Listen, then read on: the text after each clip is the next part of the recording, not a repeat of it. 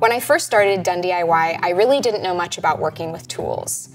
I knew the general idea of the tools I was using, but I was never quite sure if I was using them to their full capacity.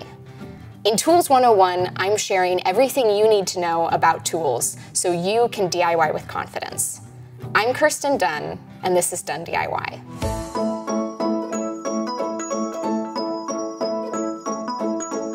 A level is a mark of good craftsmanship.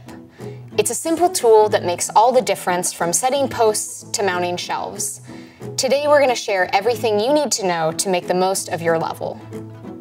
Levels are, not too surprisingly, used for finding level, plumb, and 45 degree angles.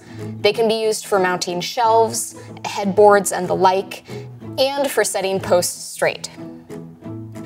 The number one rule is don't drop your level. Now, that may sound obvious, but even if you've dropped it and it doesn't look damaged, it can throw off the reading of the vials. Now, if you've dropped your level, or if it's been around for a while and you just want to check and make sure that it's still reading accurately, there's an easy way to do that. So on a flat surface, you're going to lay your level down and put pieces of paper under one side until you get a level reading. Now once you've done this, you can flip your level around and see if the reading is the same. If it is, then your level is accurate. As you can see, there are many different types of levels, and we're going to talk about some of the different functions of them right now. A line level hooks onto a top piece of string and works great for setting posts of the same height. Torpedo levels are great for working in tight spaces. They're easy to carry and easy to store.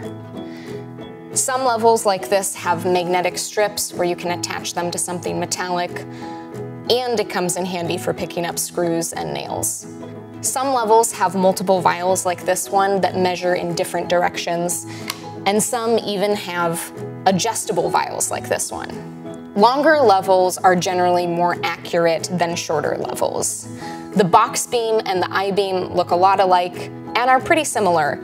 The box beam is sturdier, more durable, and is less likely to become inaccurate, while the I-beam is lighter weight and more affordable.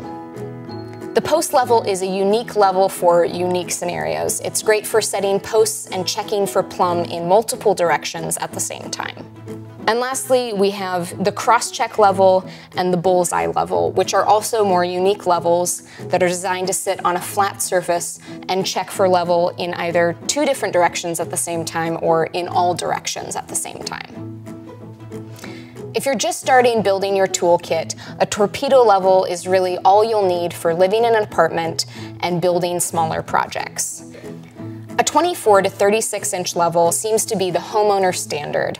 The larger size means that it's more accurate than the torpedo level and it's a great addition to your toolkit. These are our recommendations for specific projects.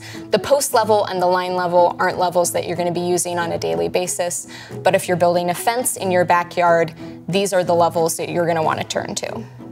In the case that you don't have a level when mounting something on a wall, you can measure up from the floor or down from the ceiling in several different places. This, of course, is assuming that your ceiling or floor isn't obviously slanted. You can alternately use an app on your smartphone to find what's level. Keep in mind that neither of these substitutions is foolproof, and if it doesn't look level to you, it's probably because it isn't. As a homeowner or renter, a level is an indispensable tool for accuracy, whether you're mounting something on the wall or setting a post in your backyard.